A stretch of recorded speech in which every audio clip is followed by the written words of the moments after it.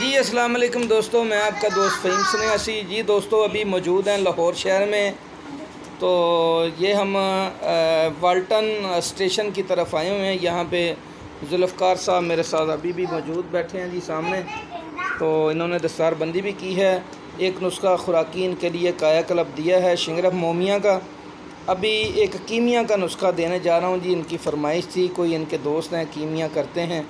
तो उनकी नज़र नुस्खा कर रहा हूँ जी।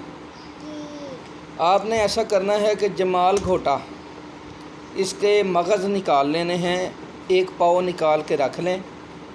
तो सौ ग्राम जो है ना जी मगज़ जमाल घोटा पीस लें, खरल करके सफूफ कर लें। और एक चाय पीने वाला कप लेना है, उसके अंदर आपने आधे मगज़ जमाल गोटा का जो सफूफ है वो बिछा देना है कप के अंदर। उसके ऊपर आपने 25 ग्राम सिंबल फार सफ़ेद, यही जो बाज़ार से मिलता है पीस के, वो बिछाना है। उसके ऊपर रेती से रगड़ा हुआ तांबा 50 ग्राम बिछाना है। फिर सिंबल फार बिछाना है ऊपर, तांबे के ऊपर ऊपर से फिर जमाल गोटे का सफूफ डाल के इसको हाथ से दबा दें। ऊपर कप के ढक्कन लगा के इसको अच्छी तरह कपड़े मिट्टी करके गिलिक मत करके खुशक करें और साफ़ सीधी ज़मीन पर रख के इसको ऊपर से सर से पाँच किलो ओपलों की आग दे दें। ठंडा करके निकालेंगे तो सिंबल फार के अंदर ना चरक शुदा आपको मोती मिलेंगे ये चांदी की मानद सफ़ेद, वो जितने अंदर चरक शुदा दाने मिलें, वो चांदी की तरह वो निकाल के अलग कर लें। बाकी जो तांबे का सफूफ है, उसको धो के साफ़ कर लें। और नया जमाल गोटा सौ ग्राम, इसी तरकीब से सिम्बल फार और जमाल गोटा दें, यही बुरादा बचा हुआ तांबे का, दोबारा रख दें। फिर दूसरी आग दें, जितने दाने निकलें, वो भी अलग कर दें। इसी तरह तीसरा अमल करें तो तीन बार में ये सिम्बल फार सारा ही चांदी की मानद सफ़ेद हो जाएगा। यहाँ पे ये, इसको ये नहीं देखना आपने कि जंगार दे रहा या नहीं दे रहा। ये चरख खाएगा, कुठाली में भी चरख खाता है। तो सिंबल फार का सारा पारा जो है, वो तांबे की मदद से चरख खा देगा और जमाल गोटा उसको फोटक नहीं होने देगा, नरम रखेगा। ये आपकी पारा की चांदी तैयार हुई है।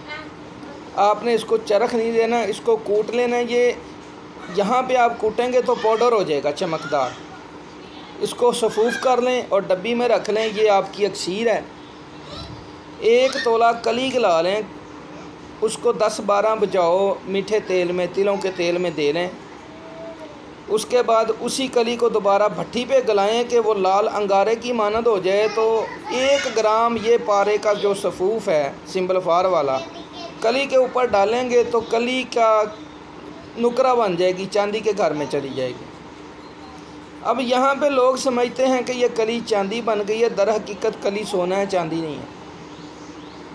ये कली का जो पानी है सॉफ्ट हो गया ये कली नरम मुलायम भी हो जाएगी करक भी ख़त्म हो जाएगी इसकी। दांत से दबाने से करक नहीं देगी। और इसको चरख देंगे तो इसका जो दर्जा पिघलाव होगा वो सोने वाला ही होगा। और उसके बाद ये तेज़ाब शोरा इसको नहीं खाएगा। ये तेज़ाबी भी होगी। अभी यहाँ पे ये मे, मेरे हिसाब में ये प्लाटीनियम बन गया है ये वाइट गोल्ड है। लोग समझते हैं चांदी है लेकिन ये वाइट गोल्ड है। हमने इसका रंग खोलना है। रंग इसी के अंदर बंद है। हमने एक पाव तेज़ाब गंदक लेना है। उसमें एक पाव लीमू का पानी डाल देना है। जब वो दोनों हल हो जाएँ तो पाँच तोला नुशादर ठीकरी पीस के वो भी इसमें हल कर देना है। तेज़ाब गंदक एक पाव, लीमू का पानी एक पाव और नुशादर ठीकरी पाँच तोला। तीनों को यकजा करके न्यारे वाली बाटी में डाल लें। और इस कली की चांदी को भट्टी पे गला के इसके अंदर बुझाओ दें। तो जैसे जैसे बुझाओ देते जाएँगे, कली का कलर जो है वो चेंज होता जाएगा, सुनहरी होता जाएगा। ग्यारह बारह बुझाओ के बाद ये चौबीस कैरेट रंगीन होगी कली। आप इसका सो न्यारा चांदी के साथ करें तो ये गोल्ड ही होगा, शम्स होगा। तो ये नुस्खा जो है ना जी, जुल्फ़कार साहब की नज़र है जी। वालेकुम।